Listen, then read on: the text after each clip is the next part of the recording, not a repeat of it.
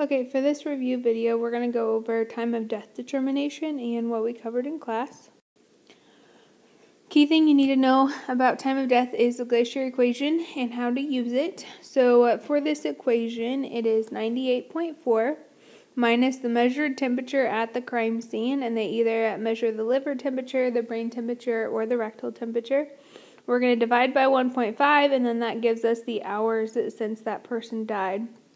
The 1.5 here is actually key because it means that the body cools one and a half degrees per hour after death, okay, until it reaches the ambient temperature.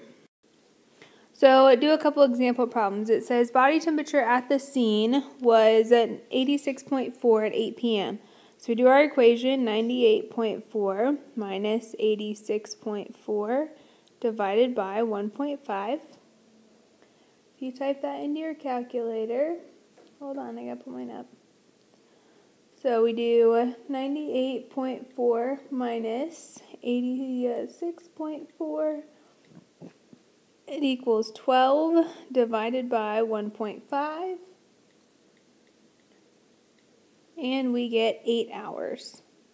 So it's been 8 hours since that person died. So if you think of your clock, you have noon, 3, 6, and 9. So if we're at 8 o'clock right here, and we have to go back 8 hours, we end up with the person died at 12 p.m. noon. Okay, on this next example, it says body temperature at the scene was 93.9 degrees Fahrenheit at 1 p.m. So we do 98.4 minus 93.9 divided by 1.5. So 98.4 minus 93.9, we get 4.5 divided by 1.5.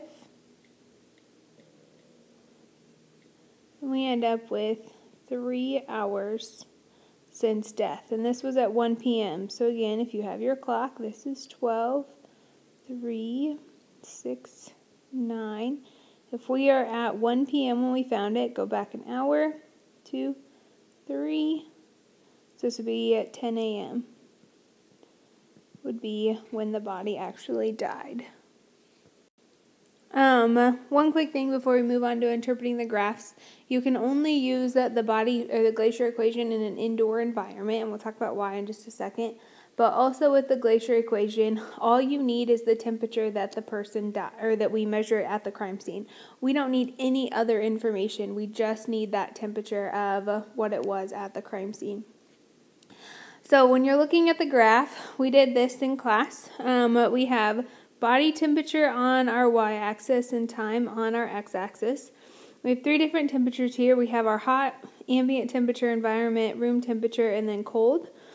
And so every time we see is that the body temperature is going to reach the ambient temperature and then it's normally going to stay pretty constant. Okay, that's especially going to work for our room temperature because we have things like heating and air conditioning that keep our room temperature the same.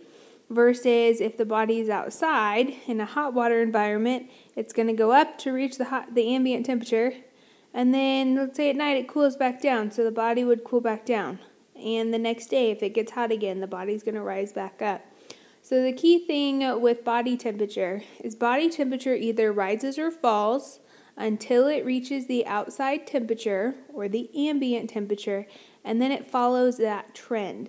So, if it's outside in a cold or a hot environment, it's going to follow that trend based on the day and how the temperature changes throughout the day. If it's inside, it's going to fall to the room temperature and then it's going to pretty much stay constant. And that's why we can use the, the Glaister equation with room temperature because it stays constant.